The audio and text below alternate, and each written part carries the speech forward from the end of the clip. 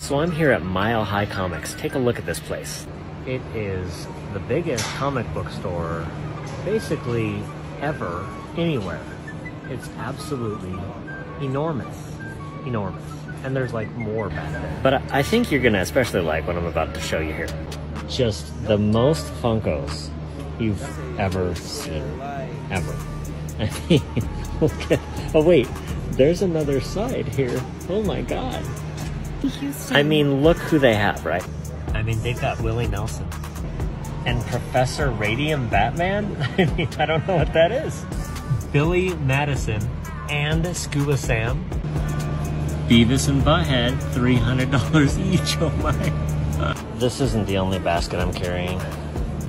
We've been here for a long time and we're still like finding more and more stuff. There's just so much stuff.